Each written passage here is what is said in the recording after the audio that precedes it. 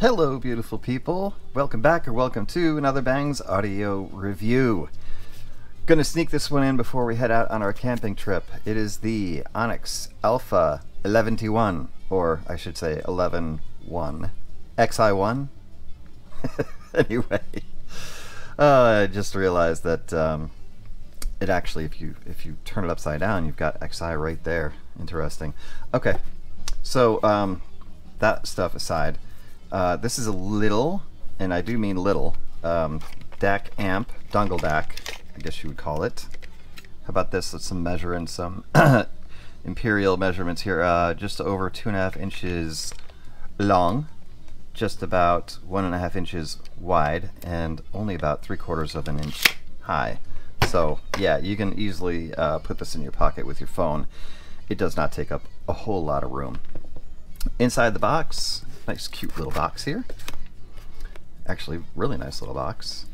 There you go. And then you get a USB-C uh, with a USB-A adapter uh, cable with it, which is also pretty handy.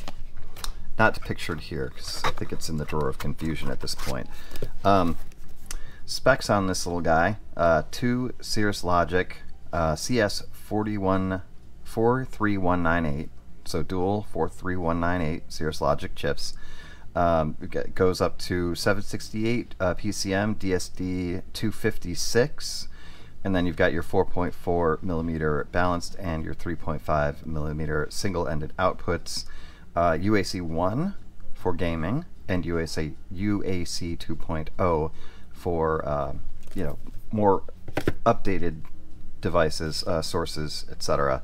Um, it pretty much defaults to the UAC 2.0. If you want it to go to UAC 1, you have to do so when you plug it in. You have to be holding down this multi-function button, which we'll get into here. So as you can see here, it's in US, UAC 2.0. Um, if you hold this button down, it puts you into the menu. You have two gain levels, low and high low, high. Hopefully you can see that. Um, hit the button again, and you've got five filters to choose from. Non-oversampling, fast, slow, low latency fast, low latency slow. So I'm thinking those are probably your gaming, you know, preferred settings for gaming.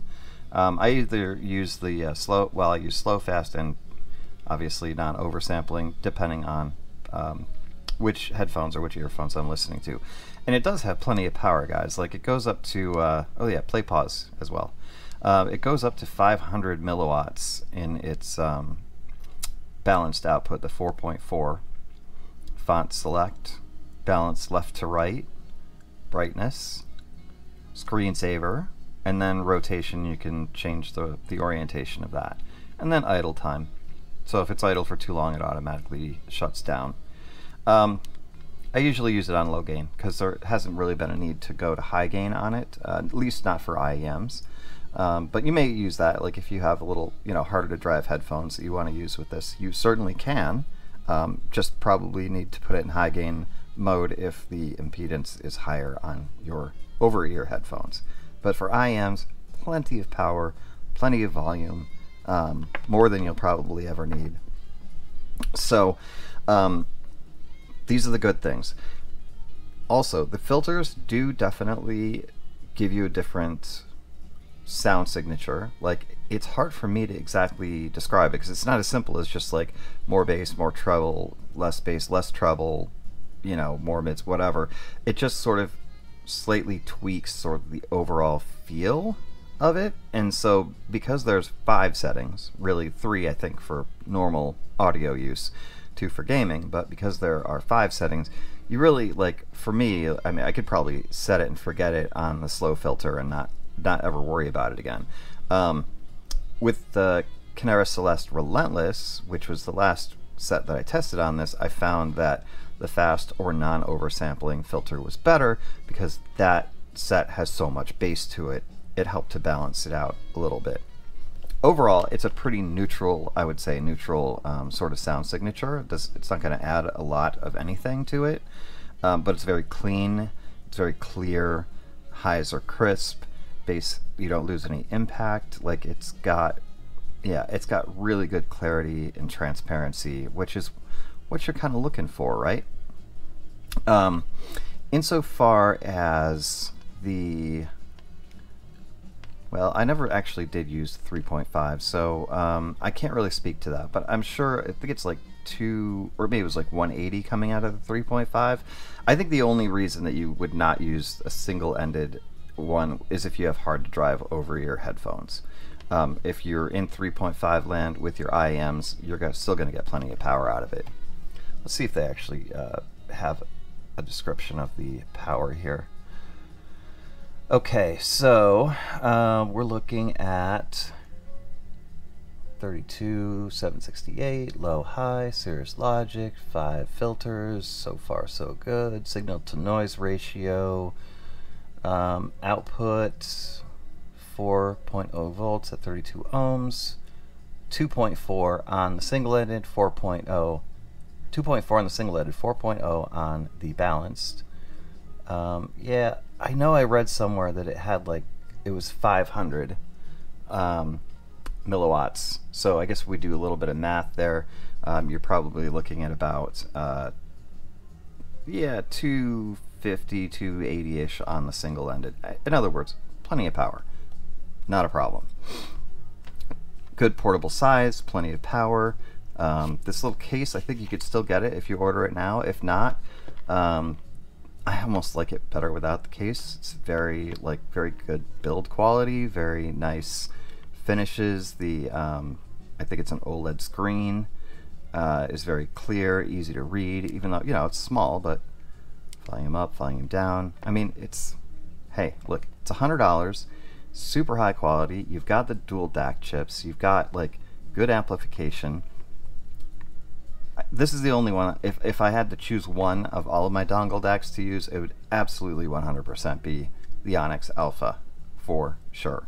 Just provides, I think, the most performance, versatility, all of that good stuff for its price point. Now, here is here here are the cautionary words. Okay, unplug this. If you have an older iPhone, first of all, you're going to need um, the Shanling L3 OTG cable. Okay, this is just as a precaution. Okay, um, it's twenty dollars. It solved so many issues for me, connection issues for me with any of the dongle DACs that I couldn't actually really use before because of lack of connectivity. Um, the L3 is is highly recommended, and I will link that again in the description. But here's the other part of it. Okay, on my iPhone, which is an iPhone 13 Pro Max, it the iPhone gets hot at the connection point, strangely enough, but very, very, very like not hot. All right, very warm. Let's call it very warm. All right, it's a little alarming to feel it get that warm, and this is over extended use, like you know a full hour or two. You just start to notice that warmth. The other thing that happens on the older iPhone okay, just put that caveat on it, and I can't speak to Android, is that the battery gets drained pretty fast.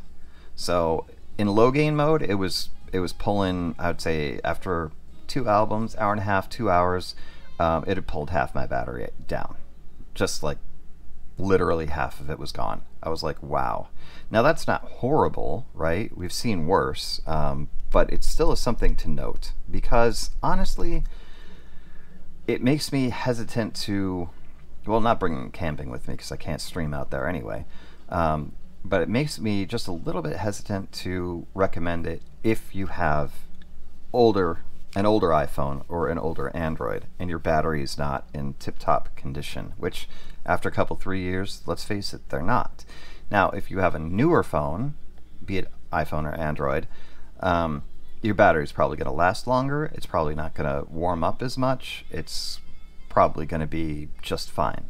So this is really just a warning to uh, people with older, older um, phones. That's and that's it. Didn't have a problem with heat on the laptop.